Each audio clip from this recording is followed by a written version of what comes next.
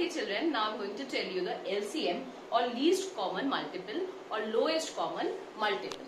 For this you have to remember one thing. When a number is a multiple of 2 or more number, it is called the common multiple of those number. That smallest number among the common multiple is called the lowest common multiple or LCM or you can say least common multiple. For this, I am telling you by division method because that is the more easy method and you can take out uh, uh, the, all the LCM by this method. Most of the questions in your exercises are by this method that is called the division method. I have taken the smallest number that is number 6 and 8. Division method means again you have to divide the given number by the prime numbers. Like for number 6 and number 8. That can be divided by any prime number. Always start with the smallest prime number that is number 2.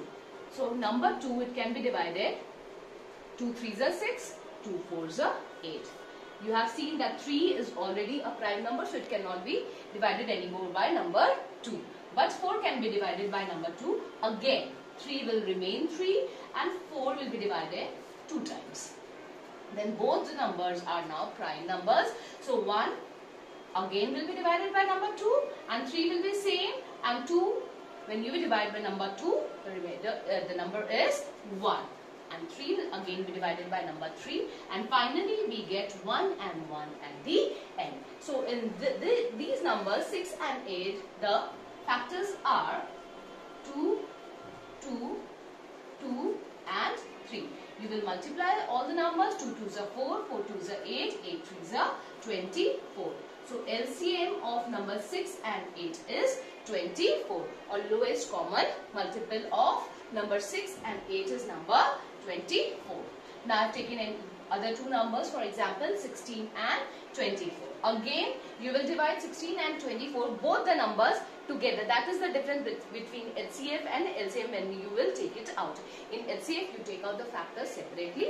Like if you have to take out the HCF of number 16 and 24 what you used to do you will take out the factors of number 16 and number 24 separately. But here you will take it out or you will divide both the numbers together. 16 number 24. Again try it with the smallest. Now our next example that I have taken is number 16 and number 24. 16 will be divided by number 2. Both 16 and 24 will be divided by number 2, 8 and 12. Again if you see you can divide these both numbers with number 2. That is 4 and 6. Again both the numbers can be divided by number 2. It will be 2 and 3. Again both the numbers will be divided by number 2. 3 is already a prime number so it cannot be divided. 3 will be divided by number 3 itself and at the end we have got 1 and 1. You will multiply all the numbers to get the LCM. 2 multiplied by 2 multiplied by 2 multiplied by 2 multiplied by 3. So when so many numbers are repeated always count it children because many times what I have seen here you have taken 4 times 2 but when you are writing it you have written only 3 times 2. So count it 1, 2, 3, 4. 4 2s are there. See you have also multiplied number 2 4 times. 1, 2, 3, 4 and at the end number 3. 2 2s are 4, 4 2s are 8, 8 2s are 16 and 16 3s are 48. So final answer or LCM of number 16 and 24 is number 48. In the same way, the LCM of number 6 and 8 is number 24. This is the way you will take out the LCM and let's say if I have already told you there are many exercises and many questions in your book. I want you to do first three exercises of this chapter to take out the HCF and LCM.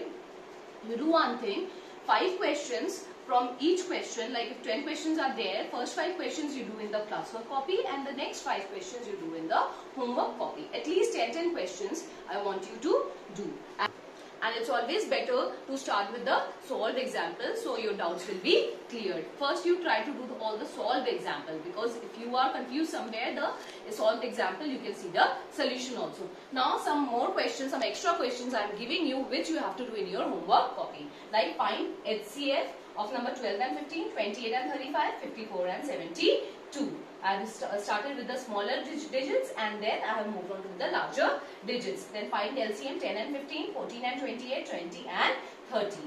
In HCF, I want you to use the prime factorization method for all the three questions and for LCM, I want you to use the division method for all the three questions. These questions you have to do in your homework copy. Rest the chapters, exercises, five ex questions from each uh, exercise you have to do in the classwork.